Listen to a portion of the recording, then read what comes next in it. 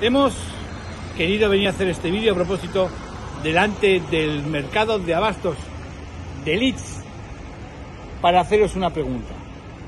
¿No será que a toda esa oferta comercial que está ahí, que es la oferta comercial de marcas Prime, donde hay un 17% de locales vacíos, desde hace un año, que volvieron a la actividad comercial sin restricciones, ¿eh? 17%.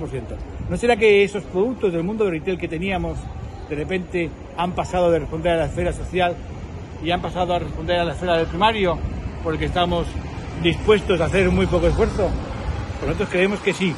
Y por eso hemos creado un nuevo modelo de centro comercial, Y, del que vamos a la continuación, en qué consiste, o una nueva forma de usar los locales comerciales, Usite, que es un producto que permite aumentar la demanda de locales y sumar intangibles a las marcas porque les permite conectar con las personas al construirse en su mente con parte de ellas.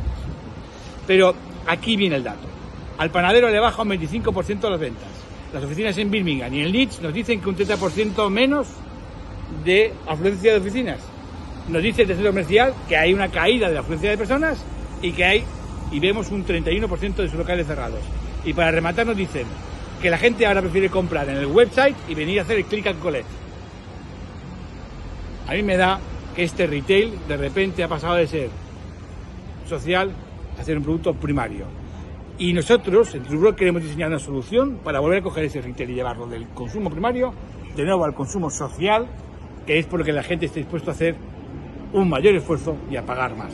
Pero para eso hace falta darles algo nuevo, de valor, que sume una evolución. Estos son USAID e Y, de los que vamos a hablar a continuación en los siguientes vídeos.